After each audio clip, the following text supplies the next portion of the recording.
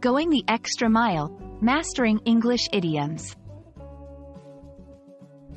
Hello, everyone. Today, we're going to dive into a fascinating aspect of the English language, idioms. Specifically, we'll explore the meaning and usage of the phrase, going the extra mile. This idiom is widely used in English-speaking countries and understanding it can greatly enhance your language skills. Going the extra mile is an idiom that means doing more than what is required or expected in a situation. The phrase originates from the Bible, where it is said, And whosoever shall compel thee to go a mile, go with him twain.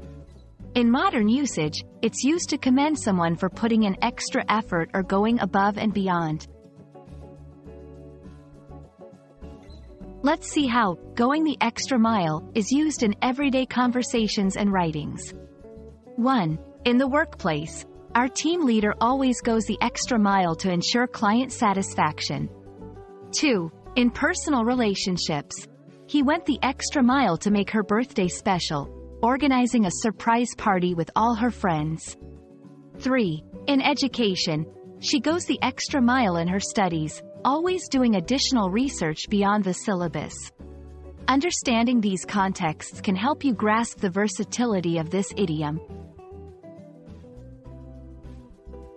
Using going the extra mile appropriately is key.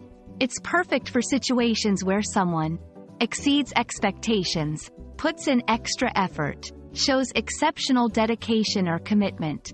It's often used as a compliment or to express appreciation for someone's hard work.